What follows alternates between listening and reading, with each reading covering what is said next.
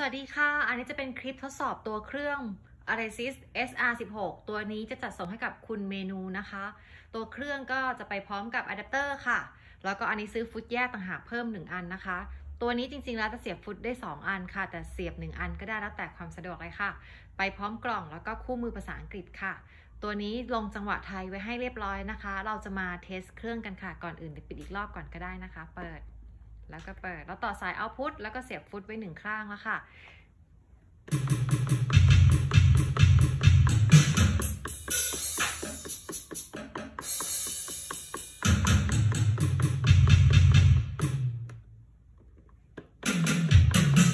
อันนี้เปลี่ยนชุดกลองนะคะ กดที่ปุ่ม กดที่ปุ่มดรัมเซตค่ะ มันก็จะเป็นการเปลี่ยนชุดกลองค่ะ กดขึ้นกดลงได้เลยหรือจะกดหมายเลขก็ได้ค่ะ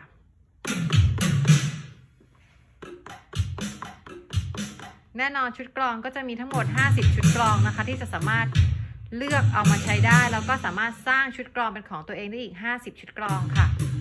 แล้วเราจะกลับไปที่ pattern ก็คือจังหวะที่อยู่ในเครื่องนะคะ pattern จะมีจังหวะที่เป็นค่าของในเครื่องหรือค่าโรงงานทั้งหมด 50 เบอร์ค่ะ เริ่มตั้งแต่เบอร์ 00 จนถึงเบอร์ 49 รวมแล้ว 50 เบอร์นะคะสำหรับตัว SR16 ค่ะ เราเริ่มที่เบอร์แรกกันก่อนละกัน เราจะทราบได้ยังไงว่าเราอยู่ที่ แพทเทิร์นหรือว่าจังหวะที่เป็นค่าโรงงานหรือค่า preset ให้ดูที่ปุ่มนี้ค่ะ preset user นะคะ เป็นการสลับโหมดไปมาระหว่าง ค่าผู้ใช้งานที่เราสามารถที่จะสร้างจังหวะบันทึกแก้ไขจังหวะได้จะทำที่ user นะคะ แต่ถ้าเรากดตรงปุ่มนี้ปุ่ม preset user อีกครั้งหนึ่งจนคำว่า user หายไป อันนี้ก็คือเป็นการเข้าสู่จังหวะที่เป็นค่าโรงงานหรือว่าค่า preset ค่ะ อันนี้คือจังหวะค่าโร งงานเบอร์ที่ 00 ค่ะ เปลี่ยนเบอร์ได้นะคะด้วยการกดลูกศรขึ้นลงหรือใส่เลขเลยก็ได้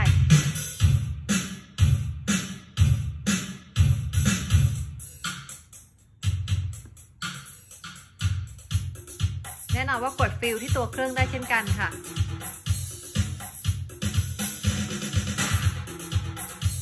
แล้วก็เดี๋ยวทดสอบฟุตสวิตค่ะ กดฟุตสวิตหยุด อันนี้อ๋อขอโทษทีอันนี้เสียบช่องฟิลไว้อยู่พอกดทีก็จะส่งเนี่ยส่ง เดี๋ยวเราจะสลับมาที่ช่อง start stop นะคะอะสลับมาอีกข้างหนึ่งอันนี้ก็จะเป็นเล่นหยุด เล่นแล้วก็หยุดเล่น หยุดเนี่ยค่ะเป็น start stop ทดสอบฟุตสองข้างให้เรียบร้อยนะคะ จากนั้นเราจะข้ามไปที่จังหวะที่เป็นจังหวะไทยที่ใส่เข้าไปให้ค่ะ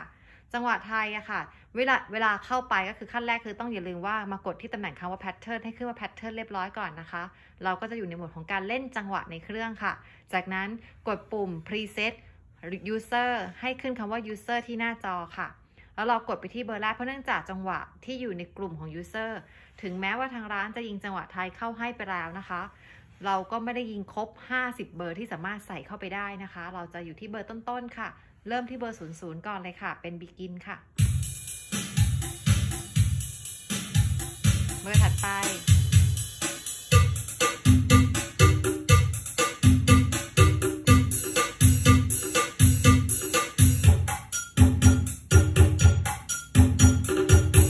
แน่นอนว่ากดฟิลได้เหมือนกันลูกส่งนะคะ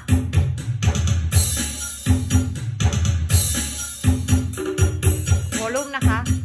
ทดสอบโวลลุ่มเทมโปค่ะ ปัจจุบันที่ 120 นะคะ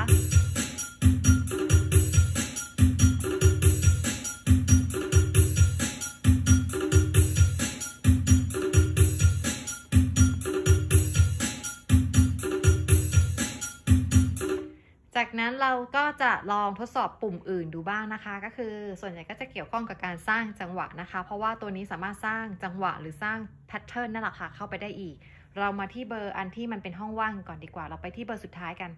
เบอร์ 49 ในกลุ่มของ user นะคะ แล้วก็จะดูว่าพอเรากดเลข 49 จังหวะเบอร์ที่ 19 ในกลุ่ม user ก็คือผู้ใช้งาน มันจะขึ้นคำว่า empty pattern ค่ะ empty pattern ก็คือการที่ห้องนี้ไม่มีจังหวะเป็นห้องว่างๆนะคะ เราก็สร้างจังหวะเป็นการทดสอบไปได้ด้วยค่ะ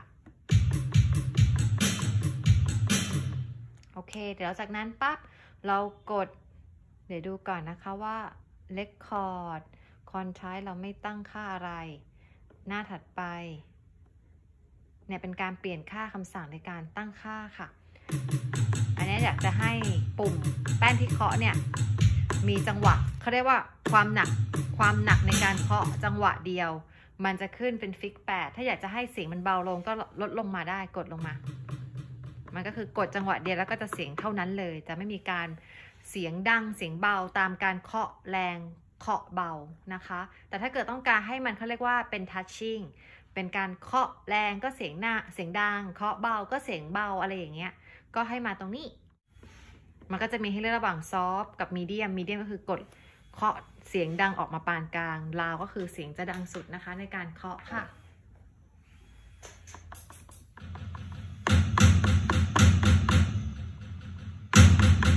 คือการทัชชิ่งค่ะ แต่โดยปกติแล้วก็จะเซตให้มันกลายเป็นฟิกค่ะ เป็นฟิกแปดก็คือเคาะความดังความแรงเดียว เสียงดังเท่ากันหมดนะคะ ถ้าอยากเปลี่ยนก็มาเปลี่ยนตรงจุดนี้ได้เช่นกันค่ะ หน้าถัดไป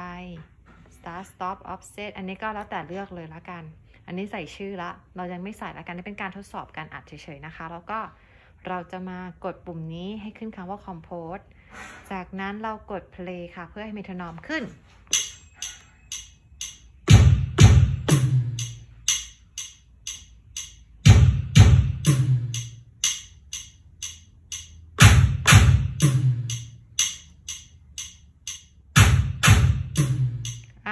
แบบนั้นนะคะนี่คือการเคาะ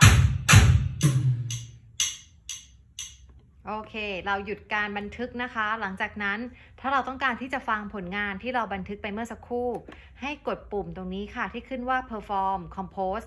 ตอนนี้มันขึ้น compose compose ก็คือจะเกี่ยวข้องกับการที่เราจะสร้างจังหวะเข้าไป แต่ถ้าเราต้องการที่จะฟังผลงานที่เราสร้างให้กดตรงนี้ให้ขึ้นคำว่า perform ก่อน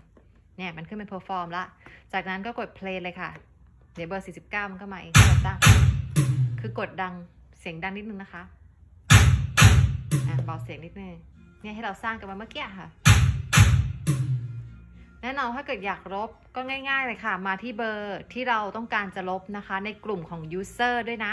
เบอร์ 49 user ที่เราสร้างเมื่อสักครู่เราจะลบนะคะ กดปุ่ม erase เลยค่ะ เนี่ยเห็นไหมพอกดแวบๆ เห็นไหมมันจะขึ้นอะไร เราต้องกดค้างนะคะ พอกดค้างปุ๊บมันจะถาม pattern erase erase ก็คือ delete ก็คือการลบนั่นแหละค่ะ เราต้องการที่จะลบ pattern เบอร์ 49 ใช่ไหม ถ้าใช่ให้กดหน้าจอมันบอกเลยว่า press play หมายถึงว่าให้กด play เลยค่ะ กด play เป็นการยืนยันปุ่ม play เนี่ย ปุ่มเล่นเนี่ยค่ะ เป็นการยืนยันการลบจังหวะค่ะ เรียบร้อย ลบ fill ด้วยนะ โอเค จากนั้นเอามือออกเลยค่ะ เห็นไหมคะ หน้าจอกลับมาที่เบอร์เดิมละ เบอร์ 49 ในตำแหน่งของ user หรือผู้ใช้งานที่เราสร้างไปเมื่อสักครู่ ตอนนี้กลับกลายเป็น empty pattern นั่นก็คือห้องว่างๆ อีกรอบค่ะ แน่นอนถ้าเรากด play มันก็วิ่งนั่นแหละ แต่ว่ามันไม่มีเสียงอะไรอีกแล้ว เพราะว่ามันลบจังหวะออกไปแล้วไม่มีจังหวะแล้วค่ะ นี่คือการบันทึกทดสอบบันทึกทดสอบการลบของตัว SR16 นะคะ เดี๋ยวเราจบรีวิวเครื่องเท่านี้นะคะ แล้วก็เดี๋ยววันนี้จะจัดส่งเครื่องไปให้คุณคุณเมนูนะคะ แล้วก็เดี๋ยวส่งหมายเลขตามไปให้ค่ะ ขอบคุณมาก ๆ นะคะ สวัสดีค่ะ